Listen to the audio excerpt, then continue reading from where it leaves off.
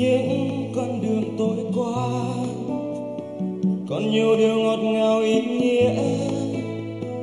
Những câu chuyện trong mơ giờ chẳng còn là điều xa xôi nhắm mắt lại, cảm nhận về cuộc sống.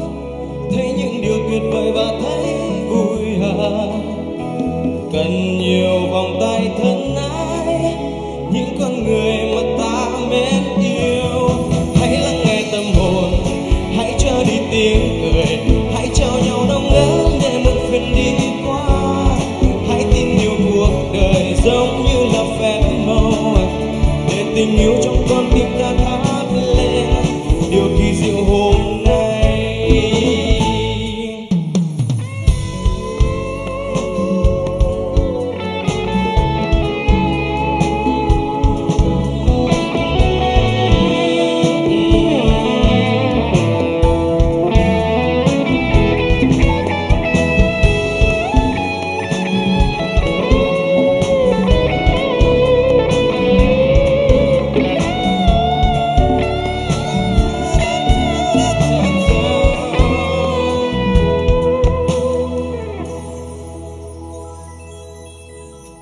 những con đường tôi qua, còn nhiều điều ngọt ngào ý nghĩa.